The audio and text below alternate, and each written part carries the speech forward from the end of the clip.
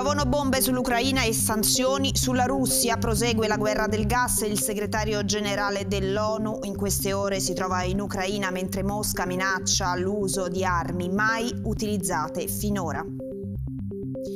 Uomini e donne diversi anche nella gestione del risparmio e sugli investimenti finanziari. Il divario di genere in Italia fotografato dall'ultima indagine dell'Università Cattolica. Giorno dedicato alla memoria delle vittime della Shoah, oggi in Israele, iniziative in tutto il paese e cerimonie al cospetto delle istituzioni per non dimenticare l'Olocausto. Buongiorno, buongiorno, ben ritrovati con l'informazione di TV 2000. Eh, dunque in apertura c'è la guerra in Ucraina, allora andiamo subito a Leopoli dove c'è il nostro inviato Vito De Torre. Ti vediamo Vito, buongiorno a te. Sì, buongiorno. Vi confermo che eh, l'attacco missilistico sferrato ieri intorno alle 10 del mattino è stato intercettato dalla contraerea ucraina. A, a dichiararlo è stato proprio il responsabile, il capo dell'amministrazione militare di Leopoli. L'attacco missilistico è stato sferrato dal mare ed era diretto proprio su eh, Leopoli. Noi in quel momento eravamo all'interno della eh, stazione, ha funzionato l'intervento immediato delle forze contra della contraerea eh, ucraina. Questa è una conferma importante appunto che è arrivata dal capo dell'amministrazione militare.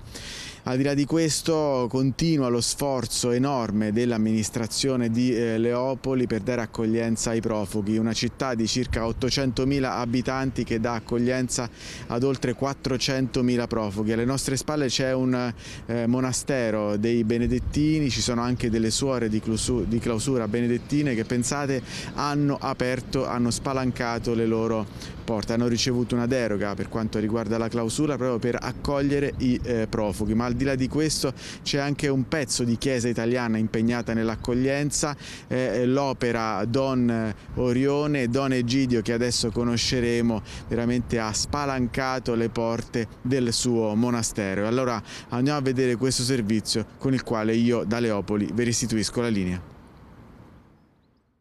Dal secondo e terzo giorno dell'inizio della guerra abbiamo iniziato ad accogliere le persone perché tantissime persone, soprattutto da Kiev, fuggivano e quindi sono arrivate qui, noi abbiamo i nostri canali e già dai primi giorni abbiamo riempito la casa. Tutte le sere, a fine giornata, Don Egidio si ferma a parlare con i profughi. L'atmosfera è familiare con le 35 persone che sono ospitate nella struttura dell'opera della Divina Provvidenza. Ci sono tanti bambini, anziani e mamme sole. I mariti sono al fronte. Appena scoppiato il conflitto, Don Egidio ha messo al sicuro i ragazzi disabili ospitati nel centro e poi ha spalancato le porte a chi fuggiva dalla guerra. Noi abbiamo fatto partire i nostri disabili perché vivono dei disabili disabili qui con noi, quindi si sono liberate le camere dei disabili e adesso vengono occupate dai profughi.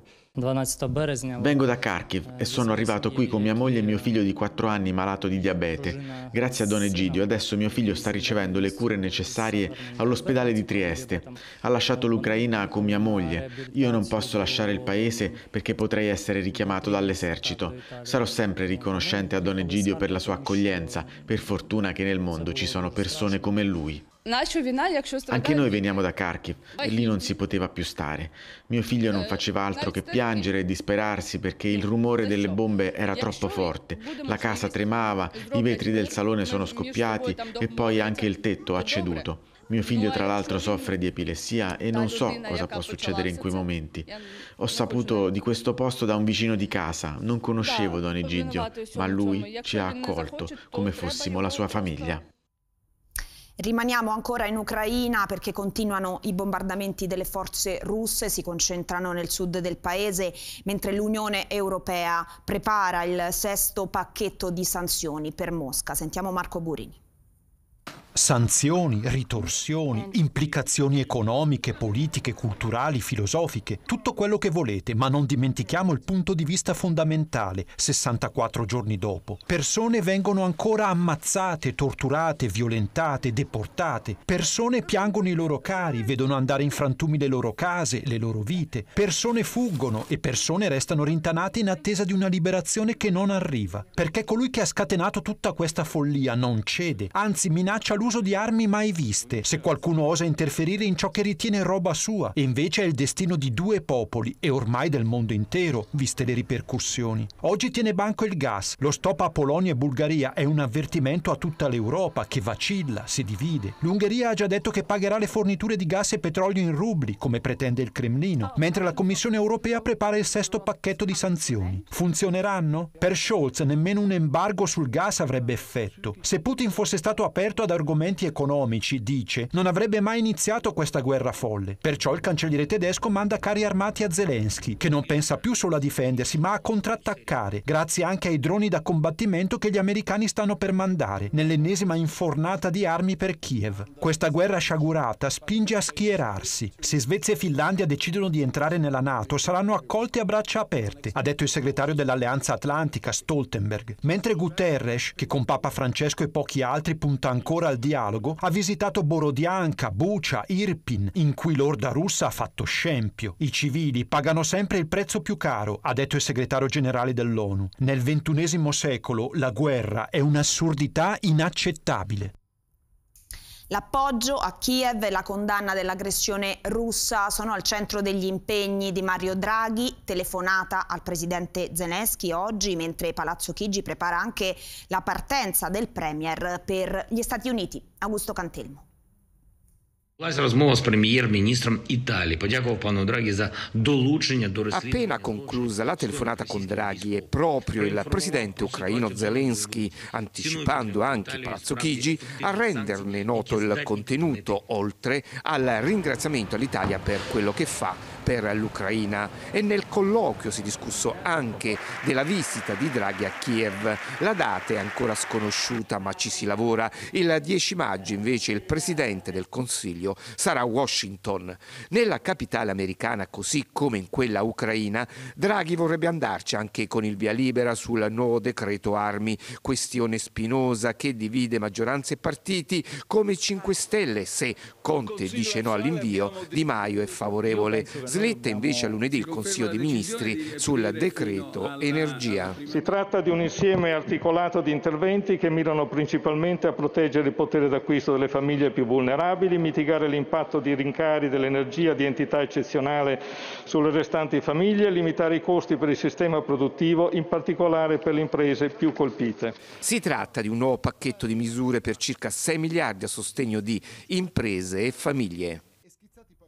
E cresce la preoccupazione per l'impatto economico della guerra. Si tratta di una ombra oscura, secondo il vicepresidente della Banca Centrale Europea, De Guindos. La crescita è debole, l'inflazione è alta in tutta l'Eurozona. Pronti ad ogni azione necessaria per la stabilità, ha detto poi la presidente della BCE, Lagarde. Capitolo Covid, nuovo boom di casi, in lieve calo i ricoveri in terapia intensiva. Oggi il governo decide su mascherine e Green Pass. Facciamo il punto con Letizia Davoli.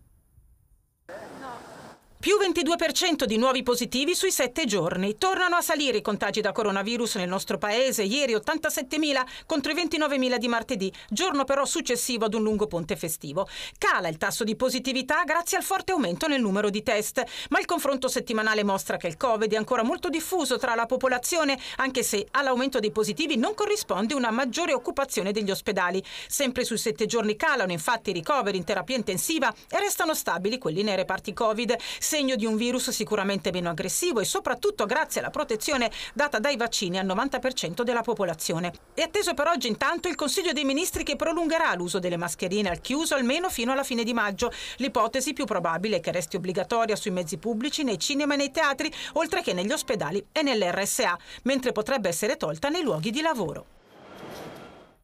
Cade nel vano dell'ascensore nella sede della Farnesina e muore. È successo questa mattina a Roma proprio nel giorno in cui si parla di sicurezza sul luogo del lavoro. Sentiamo Giorgia Presciani.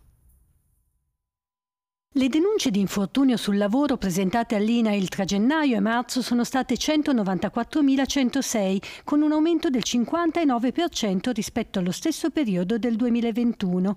L'istituto lo rende noto nella giornata mondiale per la salute e sicurezza sul lavoro che si celebra oggi, anche se precisa che si tratta di dati provvisori che richiedono cautele.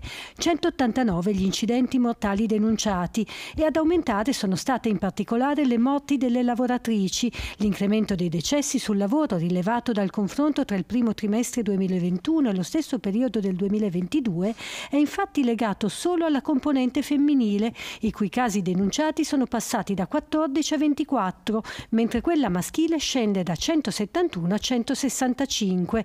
Secondo i dati INAIL sono in aumento le denunce dei lavoratori italiani, passati da 158 a 163, in calo quelle dei comunitari da 9 a 8 e in parità quelle dei lavoratori extracomunitari, 18 in entrambi i periodi. Se guardiamo all'età vediamo che aumentano i decessi tra gli under 40 passati da 34 a 49 e tra chi ha tra i 45 e i 49 anni saliti da 22 a 24.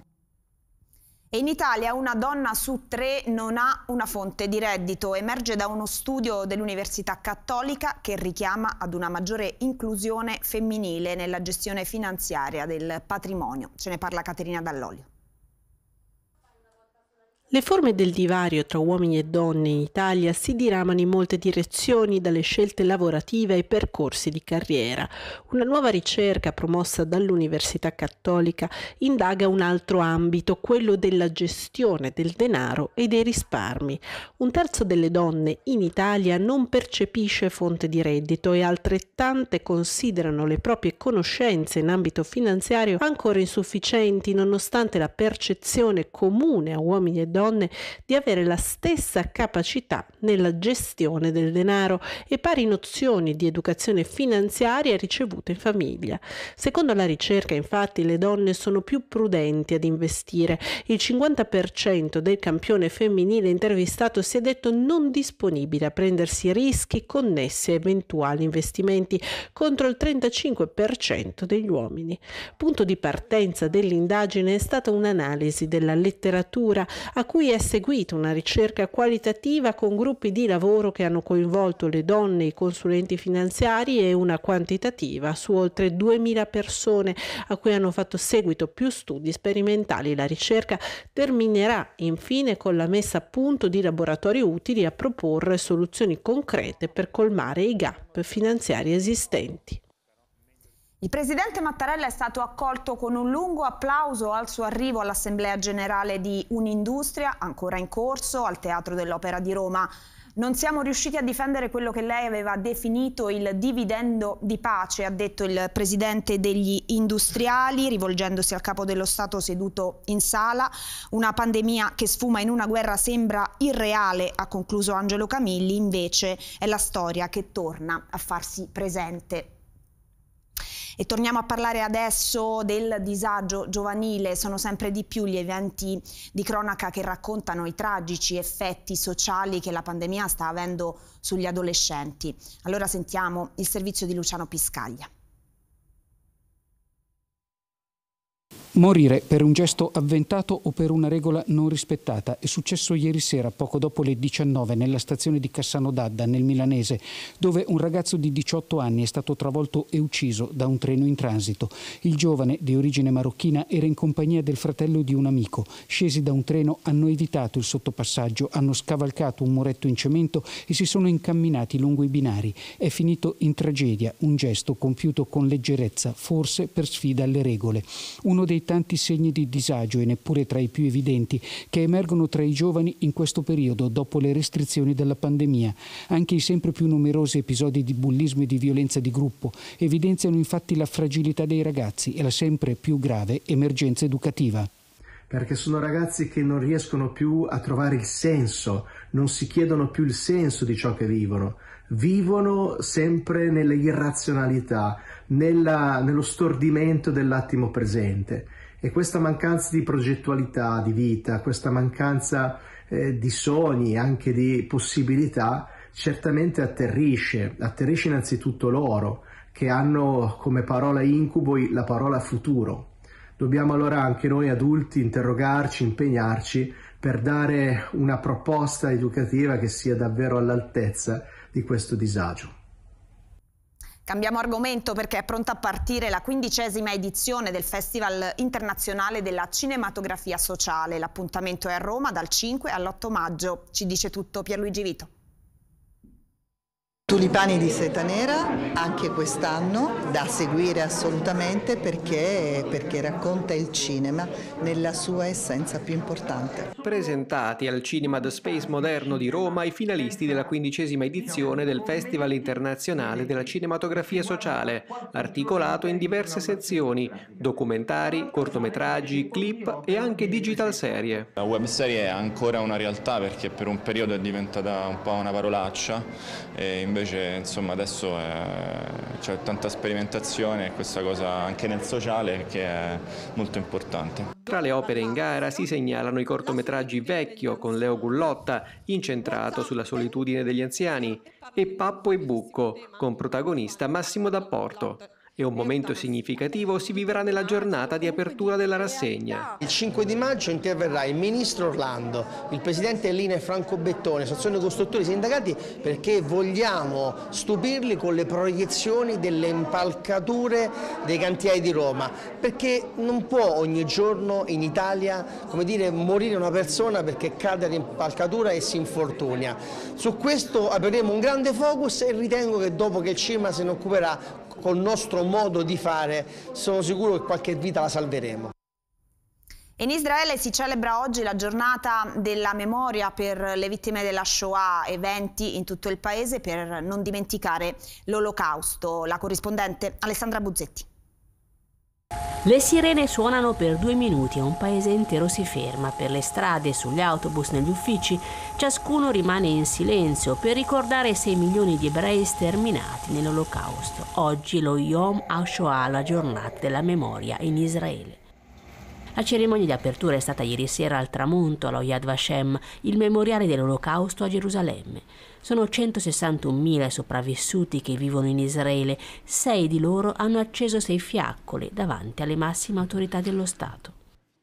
L'olocausto è un evento senza precedenti nella storia umana, ha detto il premier Bennett, aggiungendo che è improprio paragonarlo ad altre guerre o conflitti. L'ultimo a farlo è stato il presidente ucraino, molto criticato per questo in Israele. Bennett ha fatto appello anche all'unità del paese, condannando tribalismi e divisioni. Il suo governo di coalizione perde pezzi e non ha più la maggioranza in Parlamento. La destra nazionalista soffia sul fuoco del conflitto che si è riacceso durante Ramadan e dopo gli attacchi terroristici del mese scorso. Sono stati richiamati sei battaglioni di riservisti per controllare i checkpoint e aumentare le forze di sicurezza a Gerusalemme, dove la settimana prossima i giorni di festa di fine Ramadan coincidono con la festa israeliana dell'indipendenza. Un'ultima ora prima di chiudere, Papa Francesco ha nominato nuovo arcivescovo di Monreale, Monsignor, Monsignor Gualtiero Isacchi, del clero della diocesi di Albano, finora vicario episcopale eh, per il coordinamento della pastorale e deconomo diocesano. Monsignor Isacchi succede a Monsignor Michele Pennisi. Con questo è tutto, io vi ringrazio per averci seguito e vi auguro buon pranzo, arrivederci.